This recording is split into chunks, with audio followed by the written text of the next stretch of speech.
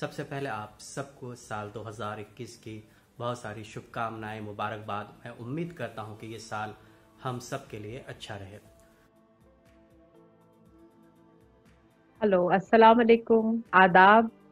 बहुत शुक्रिया आपने मौका दिया कि मैं सीमांचल के लोगों से आ, कुछ बात कर सकूँ। और आपने आधी आबादी में मुझे पहला मौका दिया। ये भी एक आ, बहुत बड़ी इनायत है। बहुत बड़ा प्रिविलेज है। आई एम रियली ऑनर्ड बहुत शुक्रिया। uh, मैं नाजिया हसन।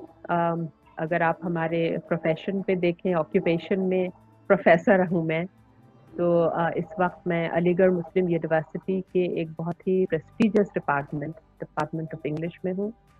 और बेसिकली मेरा काम वुमेंस कॉलेज में है। I am appointed in the women's college और मुझे यहाँ जॉब करते हुए लगभग तकरीबन 18 साल हो गए अलहमदिल्ला किशनगंज जैसी एक छोटी सी जगह से आ, बहुत कम मुसलमान लड़कियाँ घर से आ, भेजी जाती थी बाहर या उन्हें इजाज़त मिलती थी कि आप तालीम हासिल करें कुछ अच्छा करें। अल्हम्दुलिल्लाह मुझे अपनी फैमिली से ये एक यानी बहुत अच्छी एक तरबियत कहिए या एक तरह से कभी एहसास नहीं दिलाया गया कि आप लड़की हैं तो आपको बस कोई एक डिग्री लेकर you just have to get married हमेशा हमारी परवरिश में ये ख्याल रखा गया कि you have to prove yourself you have to do yourself और as they say that responsibilities begin with your dreams specially बहुत ख़ास तौर पे याद है बाबरी मस्जिद डिमोलिशन इंसिडेंट जिससे मुझे न्यूज़ सुनने का शौक हुआ शायद और uh, मेरे वालिद साहब इंसिस्ट करते थे कि इंग्लिश न्यूज़ सुनो। तो बीबीसी लंदन न्यूज़ हम उस वक्त सुनते थे। समझ में बहुत कम चीज़ें आती थी। फ्लावर को हमने फ्लावर पढ़ा पढ़ा था। अफसोस की बात यह है कि ज़माना अब तक लड़कियों को एक दूसरे स्पेशीज की तरह देखता है। और as a burden, girl as a responsibility, uh, girls upbringing as a big responsibility और उनका सेटल हो जाना एक एक ड्रीम रहता है सारे पेरेंट्स के लिए।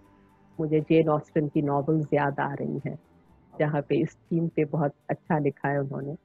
Uh, लेकिन लड़कियाँ, मुझे लगता है कि ज़्यादा सिंसियर हो जाती हैं if they get a chance और ये चीज़ मैं एक्सपीरियंस से कह रही हूँ, मैं I teach both boys and girls तो बॉयज़ हैव मोर एक्सपोजर उन्होंने ज़्यादा दुनिया देखी होती है, क्योंकि वो ज़्यादा बाहर जा सकते हैं।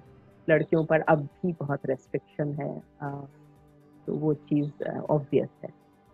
और सब कुछ अवेलेबल होने के बावजूद when it comes to performance girl really perform much better मेरे स्टूडेंट्स में मैं देखती और मुझे लगता है कि किशनगंज से होना एक बेनिफिट रहा, एक बेनिफिशियल चीज़ है। क्योंकि वहाँ फिर लोगों ने जितनी हिम्मत अफजाई की और जितनी मोहब्बत भी है, अभी भी जब भी हम घर जाते हैं वहाँ जो एक मोहब्बत मिलती है, उससे हम हमेशा सैराब होकर आते हैं और कुछ अच्छा करने को दिल चाहता है। तो life is good although it is it has lot of struggles